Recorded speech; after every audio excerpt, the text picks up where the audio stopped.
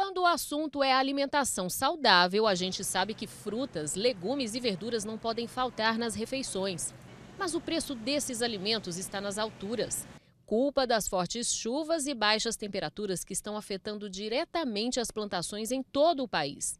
E a tendência é que a alta continue pelos próximos meses. O repolho e a melancia, por exemplo, sofreram altas de 100%.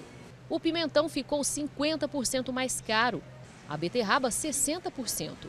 O mamão formosa, a cenoura e a batatinha tiveram um aumento de 33% e a abobrinha verde 14,26%.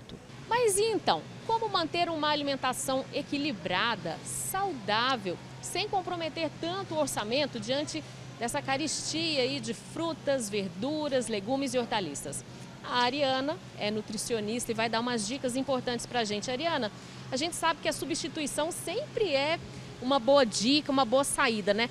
A gente é, elencou aí alguns alimentos que agora estão muito caros. O que, é que dá para substituir? Olha, a cenoura, que é rica em beta-caroteno, você pode estar substituindo com o mamão, que também tem aquele ali laranja. No caso da batatinha, você pode substituir pelo cará, mandioca, inhame, entendeu? Porque entra como carboidrato também. E as frutas, procurar a fruta da época. Tem goiaba, tem abacate, o que, que tem agora? Tem goiaba, tem abacate, tem a banana maçã e a nanica.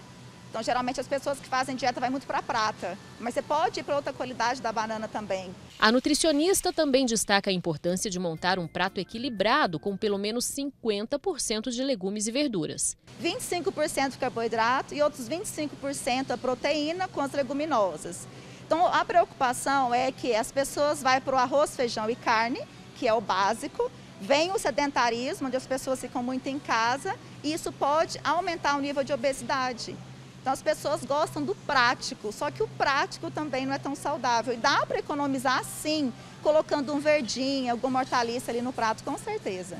O Michael é desses que se preocupam em manter uma alimentação balanceada. Eu ainda não substituo, só não levo quando está muito caro. A Nádia usa o jogo de cintura para não estourar o orçamento e comer de forma saudável. Eu sempre faço uma pesquisa em relação à banana, por exemplo, eu gosto muito de uma qualidade, geralmente chega aqui, ela, essa qualidade está mais cara do que a outra, eu já levo a que está mais em conta. Eu vou tentando balancear dessa forma.